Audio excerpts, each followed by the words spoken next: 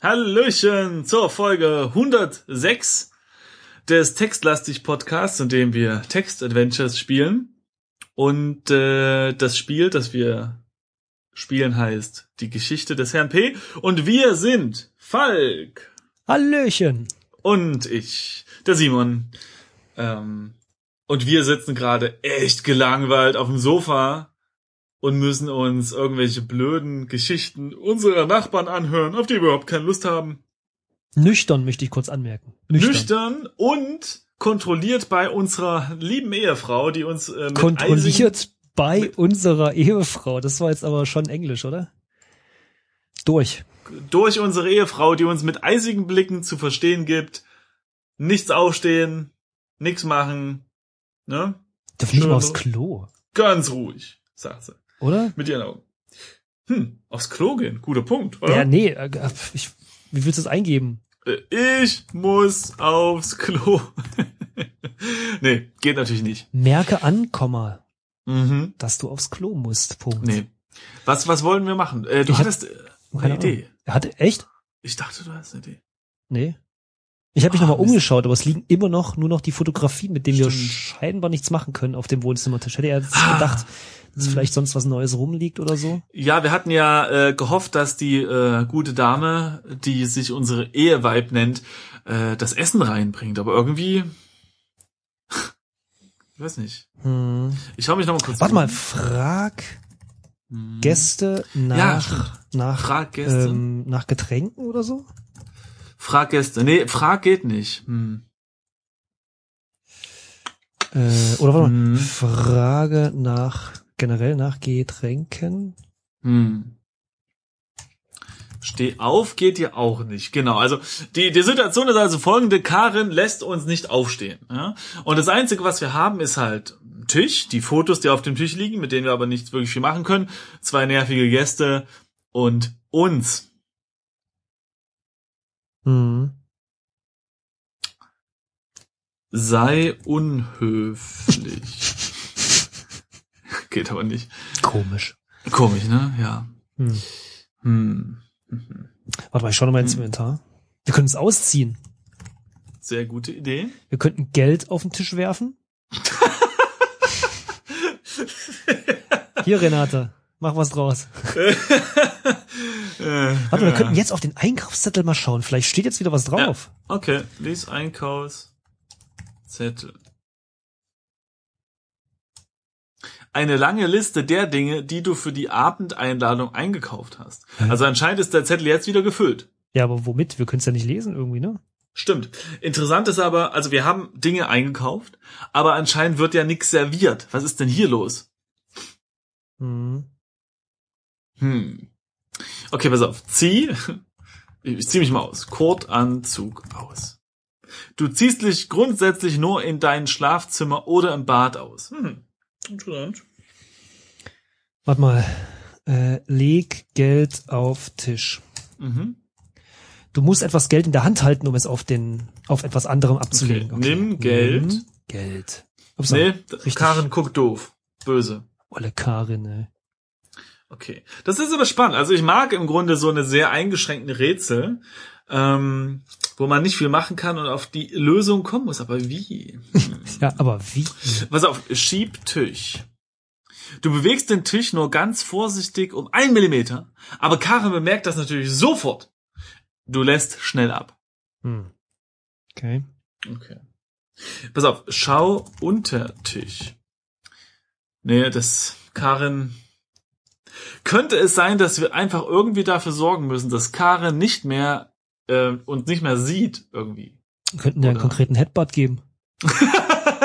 ja, genau. Schlag, oder Schlag. Oh ja, Schlag. Karin. Womit willst du Karin schlagen? Das Endlich ist die richtige Frage. Gute Frage. mit das, Zeitung. Das haben wir, ne, ja, stimmt, so, so fliegemäßig und dann sagen, hey, da war. Schlag Fliege. Karin mit Zeitung, die Antwort, Karin ist kein Behälter. Was? Hm. Okay, ist eine wahre Aussage. Schlag Karin mit Zeitung. Karin ist kein Behälter. Naja. Inventar. So. Na, na, so. Hm, mit was können wir sie noch schlagen? Oh, wir, wir können ihr den Einkaufszettel geben. Gib Stimmt. Karen Einkaufszettel. Ganz stolz. Tja, Karen ist viel zu sehr in das Gespräch mit den Nachbarn vertieft. Vielleicht können wir noch andere Sachen geben. Gib. Pass auf, wir geben mal dem Heinz die Zeitung. Hm. Dir gelingt es einfach nicht, dich den Moment abzupassen. Okay. Ja, bei mir steht Heinz scheint nicht besonders interessiert zu sein. Kommt aber aufs Gleiche draus, äh, drauf raus. Was können wir machen? Äh, zuhören. Zuhören. Äh, wir könnten mal wieder auf der Seite gucken und äh, uns wieder einen Ja. Tipp geben lassen, bevor das hier Na ausartet. dann lassen. Ja, komm, dann. Oder? Ich weiß, also Ja, ganz ehrlich, ja. ich Ja. aus mir selbst heraus kommt gerade, ich, Wir haben genug weiß, ich weiß echt nicht. Wir kommen nicht aufs Klo, äh, Mhm. nach Essen und Getränken gefragt. Warte mal, frag nach Essen. Das haben wir, glaube ich, noch nicht. Stimmt, ja. So, das kannst du ja nicht sehen. Frag aber Karen nach Karen Essen. nach Essen. Ah, die hört wieder nur zu und äh, Hm, ja, okay. Äh, nee, verlange Essen. nee. Hau auf Tisch, pass auf. Hau auf Tisch. Du bist kein aggressiver Mensch. Ja, langsam werde ich aber aggressiv. Also dann guck mal nach dem Tipp. Okay, also Sonnabend, Abend. Die Mhm. Zeit geht einfach nicht rum. Wann Mhm. hauen diese Nachbarn endlich äh, wieder ab? Genau. Okay, Tipp eins von fünf. Das liegt leider nicht in deiner Hand. Toller Tipp. Zweitens, aufstehen, aufstehen und dich anderweitig beschäftigen kannst du nicht. Mhm. Okay? Hm. Du könntest versuchen, dich an dem Gespräch zu beteiligen. Ja, okay, das haben wir ja gemacht. Ja. Oh, warte mal. Äh, warte mal, pass auf. Hör zu. So, Nee, ähm, da sagt er ja wieder, ja, äh, stimmt. dass er das nicht mehr will. Stimmt, ja. Dann warte mal, erzähl von äh, Arbeit oder so. Steht da. Bitte Ach was? so, du meinst, ach so, nee, du meinst, okay, ja. Nein, das tippe ich gerade ein, aber da sagt er, sowas kann er ja nicht sehen. Erzähl. Wem willst du erzählen? Also ich habe, Was nee, also jetzt? ich habe jetzt eingegeben nur erzähl, Enter, und dann wem willst du erzählen? So, das heißt Okay. erzähl, Heinz Erzähl von Arbeit. Heinz von Arbeit. Nee, das, äh, nee. Okay, dann, Okay, äh, dann äh, von, von Baum vielleicht? Hm, okay. Dir fehlt kein Gesprächsthema ein? Nein. Dann von Eiswagen. Hm. Niemand scheint so richtig für deine Gesprächsthemen in, zu interessieren. Okay, dann Mhm. sagen wir, ähm, was hat man noch Tolles? Zuckerwatte. Ja, aber wir können auch mit Karen, aber die ist eh von Heinz hin und weg.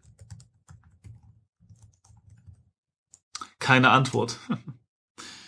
Okay, Ja. pass auf. Erzähl Renate von Arbeit. Nö. Erzähl Karen von Essen. nee, aber mir hört keiner zu. Okay, dann würde ich sagen, nächster Tipp, oder? Oder? Äh, warte mal kurz, ich habe gerade Antworte Heinz eingegeben und sagt er, zu wem willst du das antworten? Ach, ist egal, komm, ich tippe auf jetzt Tipp 4 von 5. Wenn das langweilig wird, Gedanken sind frei. Aha. Ach so, denk. Ah, denk an Zuckerwatte. So, das kannst du nicht sehen. Okay, denk An Essen. an, an Essen. Nö, geht auch nicht. Denk an Denk an Heinz. Je mehr du darüber nachdenkst, desto mehr wird dir klar, wie unsympathisch du Heinz findest. Du malst dir sein Gesicht in ein paar für ihn peinlichen Situationen aus und lächelst innerlich. Hm, okay. Denk an Renate. Okay, da kommt derselbe Text.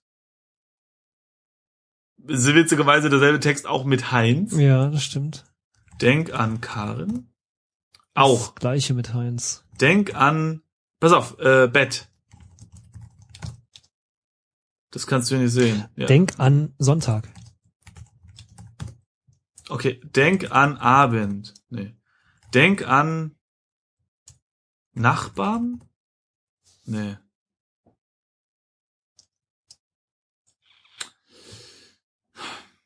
Denk Ich tippe noch, ich hol den letzten Tipp. an Himmel? Nee. Denk aber ich glaub, an das Denk- Wolken. Ich glaube, das Denken ist irgendwie, weil selbst wenn du jetzt denk an Zeit, ja, selbst Ja. dann kommt das mit Heinz. Also, dass, er- dass er Denk Heinz Schlaf, unsympathisch ja. findet. Das ist irgendwie. Geht nix. Hm. Es wird spannend. Äh, ich drück Also- mal, ja. Mhm. Experimentiere, Ausrufezeichen. Steht da. Wir können an die Fotos denken. Hm, Nee. nee. Die Gedanken sind frei. Ähm, Okay, pass auf. Denk an Freiheit. Ich bin mir nicht so sicher, ob das Denken Okay. oder Denke an Dinge richtig ist. Also, Träumen. ja, das ist eine gute Nee, Idee. das kenne ich nicht. Nee, kenn ich. Träume von Sonntag. Ah, das Wort kennt er nicht. Denk an morgen geht auch nix. Denk an später. Denk an warten. Warte. Denk an Zeit vielleicht. Nee.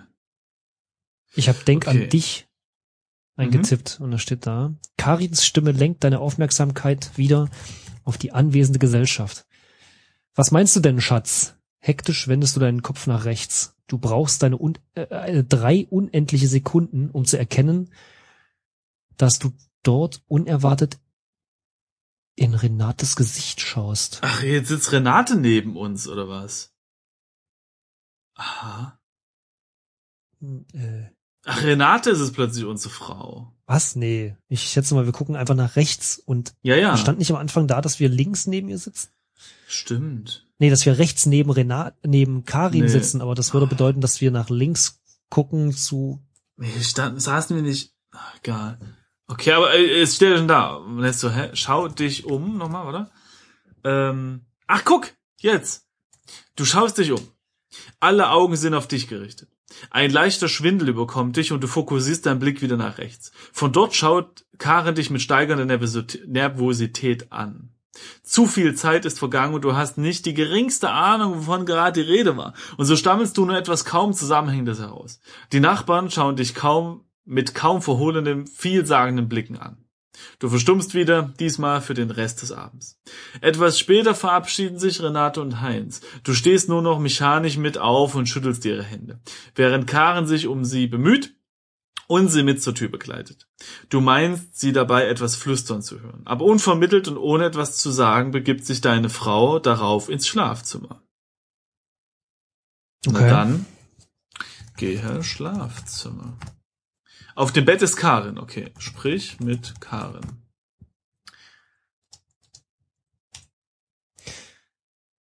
Karin liegt dir den Rücken zugedreht im Bett. Du beugst dich etwas über sie und siehst, dass ihre Augen geschlossen sind. Du entschließt dich, sie nicht zu stören. Okay. Geh ins Bett. Nee, wir müssen uns da erst noch, äh, Ah, Ja. ne? Entkleide dich. Ach so. Du ziehst den Kottanzug aus. Geh Zieh ins. Schlafanzug. Ach so, ja, stimmt das auch noch. Hm. Zieh Anzug aus. Zieh Anzug aus. So. Zieh Ich glaub, das- Einfach den. Schlafanzug anziehen. Ich glaube, der macht das automatisch dann. Ach so, geh ins Bett oder was? Mhm.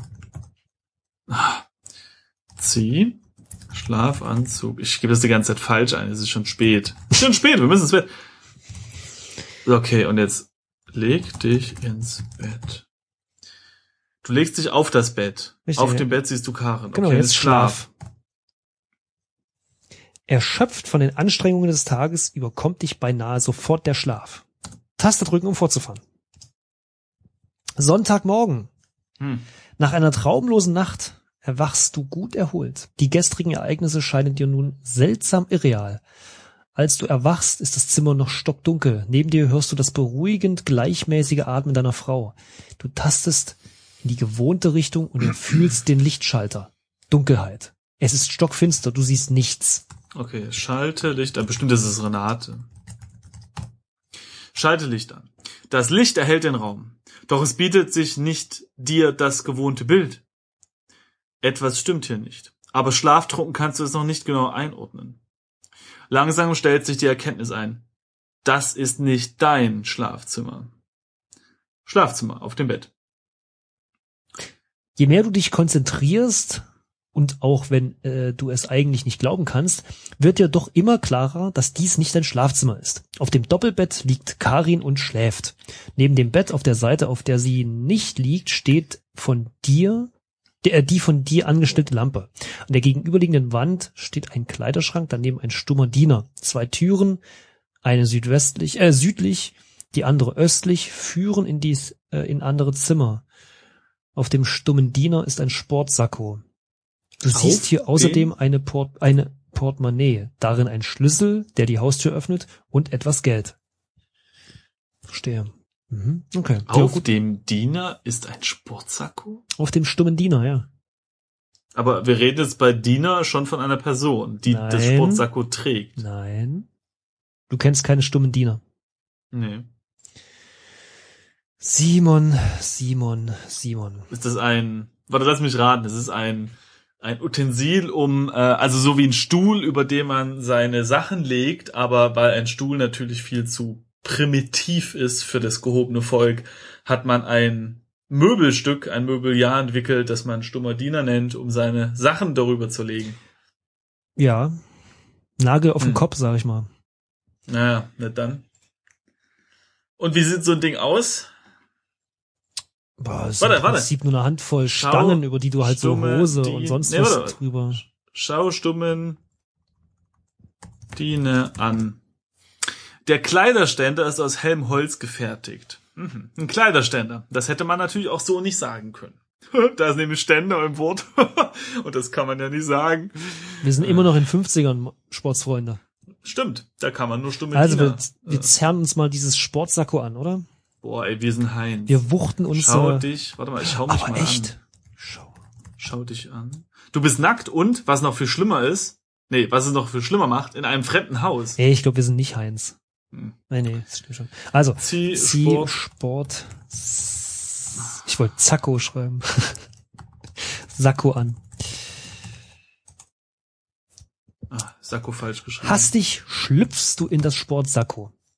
Es ist dir etwas zu groß, aber besser als gar nichts. Okay, pass auf. Weg, Karin. Moment mal, stimmt. Ist das Sportsakko nicht von Heinz? Der hatte das doch letzte, äh, gestern Abend an, ne? Pass auf. Ja, das stimmt. Ich habe jetzt mal eingegeben, weg, Karin. Mhm. Das gleichmäßige Atmen deiner Frau lenkt deinen Blick auf ihr, auf ihren im Bett ruhenden Körper. Du erstarrst. Dort liegt, noch im tiefen Schlaf, Renate! Deine Nachbarin! Dir geht auf, dass dies ihr Schlafzimmer sein muss. Was hast du bloß mit ihr gemeinsam im Bett? Und das sogar nackt gemacht? Wie bist du bloß in diese peinliche Situation geraten? Es ist klar, dass du dich schnell und möglichst unbemerkt davon machen solltest, bevor sie aufwacht oder ihr Ehemann heimkommt. Okay, okay, dann ich glaube, wir das sind doch am Ende des Spiels, glaube ich, stellt sich heraus, dass du immer in andere Personen springst, glaube ich. Jetzt äh, jetzt muss ich mich äh, verbessern. Ich glaube, wir sind doch Heinz. Ja, Obwohl, dann würde das nicht passen, dass der Anzug ein bisschen zu groß ist. vielleicht. Ah, stimmt, er, er, stimmt, nicht- er ist nämlich maßgeschneidert gewesen. Ja, stimmt, stand stimmt. vorhin da. Ja. Okay, also weiter. Äh, Okay, also dann schleichen wir uns mal raus. Ne? Mal, schau, nein, nein, Moment, schau dich um. Wir müssen unser Portemonnaie noch mitnehmen, glaube ich. Stimmt, ja. Genau, nimm Nimm alles einfach. Portemonnaie. Ach so, stimmt, ja, nimm alles. Mhm. Also genau, er nimmt das Portemonnaie mit dem Okay. Schlüssel und dem Geld. Schleich dich raus. Naja, gut, rausgehen. Ja. Also ich bin jetzt nach Süden gegangen und da bin ich jetzt im Wohnzimmer. Okay. So. Ach, guck mal, jetzt, ja, jetzt ist hier auch das Schneiderzimmer. Wo bist du jetzt? Ja, im Wohnzimmer. Und da steht da, das benachbarte Wohnzimmer Ach so. enthält die üblichen Einrichtungsgegenstände, aber du hast momentan keinen Sinn dafür, sie genau in Augenschein zu nehmen. Wichtig sind in deiner Situation nur die Ausgänge, die ins Schlafzimmer, ins Schneiderzimmer, ins Bad und Küche führen. Darüber hinaus gibt es ja natürlich eine Haustür, die auf die Straße führt. Wollen wir jetzt noch rumschnüffeln oder Klar, wir raus? schnüffeln rum. Dann als erstes Schneiderzimmer, oder? Jo. Das ist also der sagenumwobene Raum, in dem Renate ihrem Hobby nachgeht. Schneidern. Entsprechend ist der Raum mit einer Kommode sowie einer Schneiderpuppe eingerichtet. Der Ausgang führt zurück ins Wohnzimmer, eine andere Tür ins Schlafzimmer. Auf der Schneiderbüste ist ein farbenfrohes Kostüm. Okay, schau Kostüm an. Ein Satz männlicher Kleidung im Patchwork-Stil. Nimm Kostüm. In Ordnung. Na, äh, warum nicht? Okay. Wenn wir schon Dann hier sind, können wir auch raus. klauen, wa? Ne? Okay, dann äh, gehen wir nach. Wohnzimmer. Ja, gut. Ist, aber ist egal. Äh, dann Badezimmer, oder? Nochmal kicken, Mhm. was haben? Vielleicht können wir noch was Ja. mitnehmen. Das Bad ist ähnlich eingerichtet wie deines, nur dass es sich, äh, dass sich hier eine Badewanne statt einer Dusche befindet. Mhm. Denn dadurch, äh, den dadurch in vertikaler Richtung gewonnenen Platz nimmt ein großes Fenster ein. Der Ausgang führt in Richtung Wohnzimmer. Pass auf. Schau durch Fenster. Das Fenster geht nicht direkt auf die Straße, sondern wird halb von einer Hecke verdeckt, die ein Hinschauen, Hineinschauen verhindert. Das ist gut bei Badfenstern. Sonst sieht man ja, wie man da nackig in der Badewanne liegt, Hm. Oder für Leute, Oder- die damit ein Problem haben. Hineinsteigt. Okay, also gehen wir wieder ins Wohnzimmer, oder? Mhm. ist langweilig. Und jetzt könnten wir in die Kü Ja, komm, Küche. Küche. Oh, warte mal. Ja? Jetzt steht hier irgendwas. Warte. Du betrittst die Küche.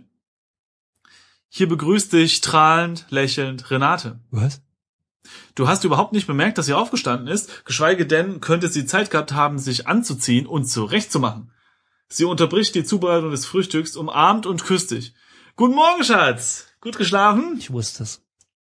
Du kannst dir immer noch keinen Reim auf die Sache machen, beginnst etwas von Karen zu stammeln. Dass Renate dir einfach nur stumm zuhört, macht dich noch nervöser. Als deine Worte schließlich versiegen, antwortet sie nur, hast du etwa eine Affäre mit der Nachbarin?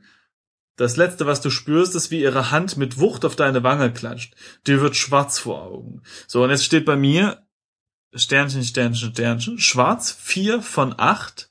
Und Ja, jetzt geht's weiter. ja das Spiel ist zu Ende. Äh. Okay. Schwarz, ist das jetzt gut? Und vier von acht äh, klingt irgendwie nach der Hälfte. Aber schwarz, ist es jetzt. Hä?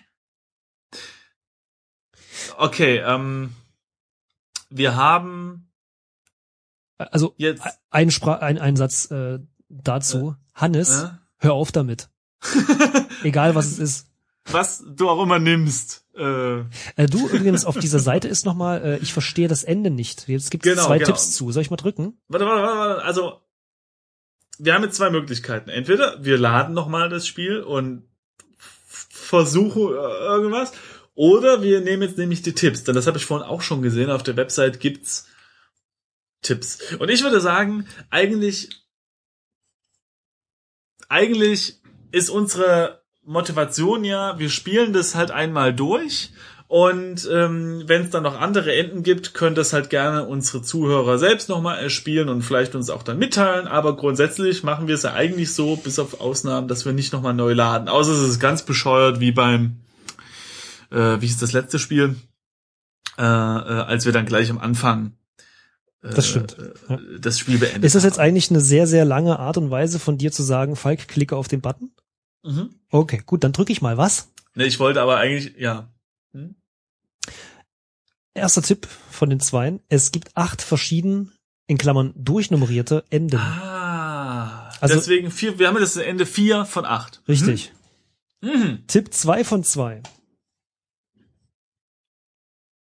Es könnte hilfreich sein, mehrere zu erspielen. Mhm. Also mehrere, mehrere Enden zu erspielen. Okay. Was aber krass ist, warte mal.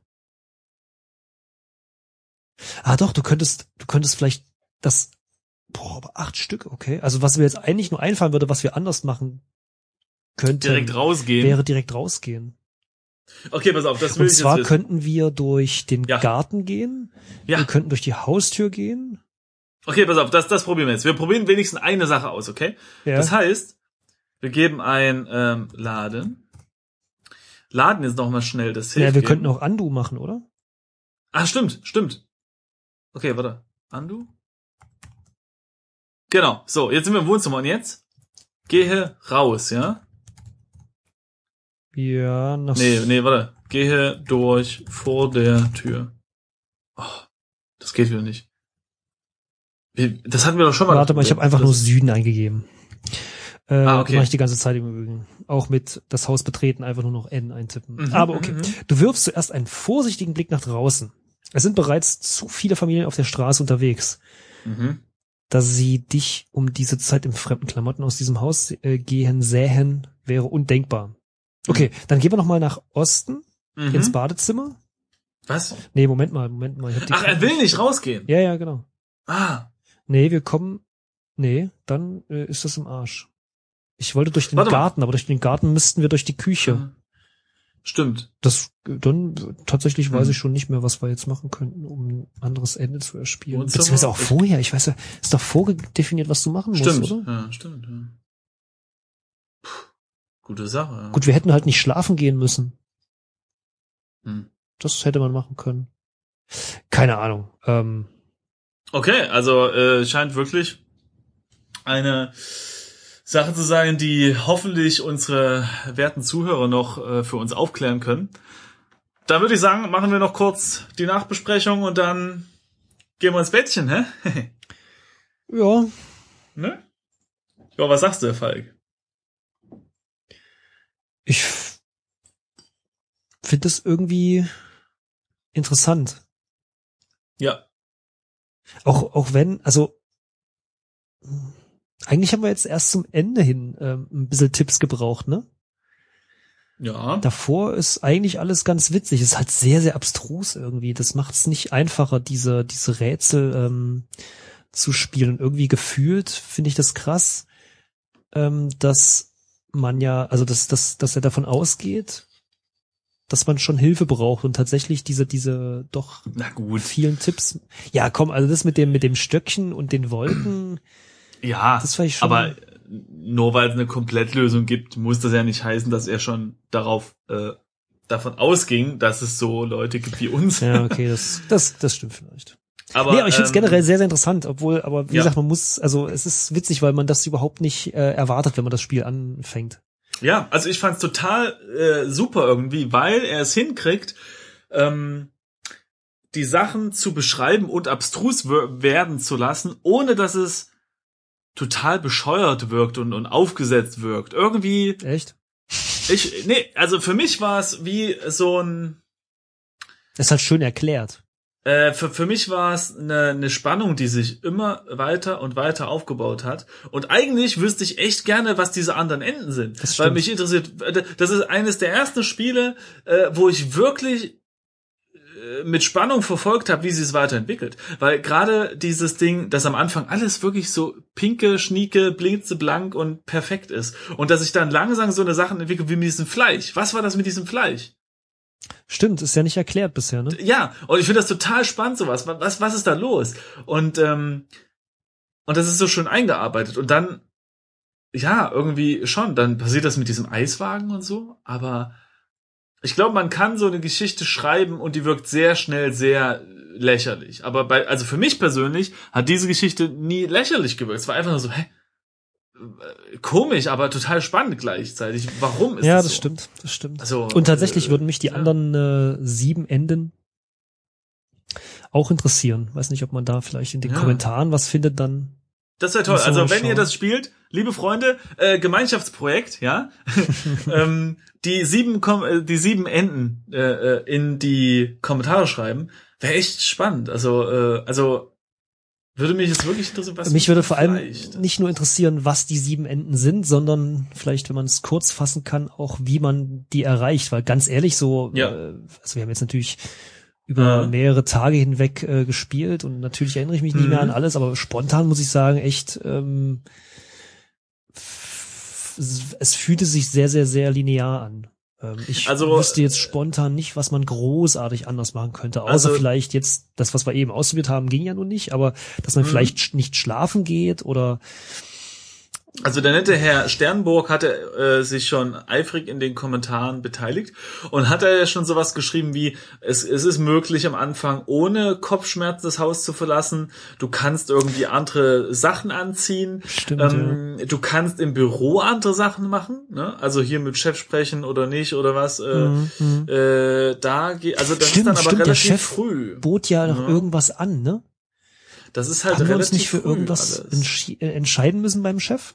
Mm, Ja. Aber danach stimme ich dir zu. Abgesehen von dem Dornenstrauch, in dem diese Decke liegt, Mhm. wüsste ich auch nicht, was man noch anders machen könnte. gut, vielleicht reicht das ja schon aus. Ähm, Ja. Also das, was wir jetzt aufgezählt haben. Da splittet Ja. es, also wenn du jetzt zwei, drei hast, Positionen, die hatten wir jetzt ja, dann splittet sich das ja an jeder schon in zwei wieder auf und damit kommst du ja relativ schnell auf acht. Also ich muss sagen, äh, ich fand es total super, coole Geschichte, total spannend, finde ich immer noch spannend, würde gern mehr wissen, aber äh, wir haben keine Ahnung, wie man es erreichen kann. Das Einzige, was ich jetzt kritisieren würde, sind vielleicht ähm, noch nicht mal das Rätsel mit dem Ast und den Wolken, das fand ich noch, das ging noch, aber das, das mit dem Denken jetzt am Ende, Hm. das war ein bisschen komisch. Das, ähm, das, das, das könnte so ein Rätsel sein, auf das man alleine nicht kommt und das ist dann schade, weil eigentlich will man das Spiel ja noch doch weiter erleben und so. Ähm, äh, vielleicht war der Gedanke da, na ja, am Ende müssen die Rätsel ein bisschen schwerer werden oder so, aber vielleicht wird es dem Fluss der Geschichte dann doch gut tun, wenn es nicht ganz so abstrakt ist. Aber ansonsten fand ich es toll. Ja. Nee, äh, stimme ich zu. Also es ist äh, Tja, ein bisschen abstrus, aber ja. tatsächlich sehr interessant, ja. Hm. Was sagst Bin du? gespannt. Ich, ich hoffe, Ach so. wir kriegen die, die, ich hoffe, wir kriegen die anderen Enden mit. Also, würde mich wirklich interessieren. Ja, Total spannend. würde mich auch interessieren, das stimmt, ja. Schick. Also, und ich hoffe dann, dass es nicht nur eine Auflösung ist wie, du hast nur geträumt. Ja, Weil es Moment gibt mal, ist das nicht das, was du die ganze Zeit gesagt hast? Ja, aber ich hoffe mir mehr, weil ähm, es gibt zwei äh, billige Auflösungen von interessant konfusen Geschichten. Die eine ist, es sind alles Aliens, ja? also irgendwie, oder ist es ein Traum gewesen. Damit lassen sich halt Geschichten super irgendwie einfach ab. Hm. Äh, vielleicht dreht sich Karin auch in irgendeiner Lösung um und sagt, Heinz, ich, Ich bin ein Alien. bin dein Vater. nach Hause telefonieren. Ja, wir wissen es nicht, aber vielleicht wissen wir es bald, wenn ihr, liebe Zuhörer, uns helft dabei. Und es wäre total geil, wenn wir in den Kommentaren die sieben anderen Lösungen äh, aufdecken können. Das würde mich wirklich freuen. Ja. Genau. Und äh, mal sehen, ob es soweit kommen wird, aber bis dahin oder bis später zum neuen Spiel wünschen wir euch viel Spaß und äh, hoffen, dass ihr auch beim nächsten Mal wieder einschaltet, wenn wir weiterspielen. Irgendwas Neues. Irgendwas Neues. Bis bald. Tschüss.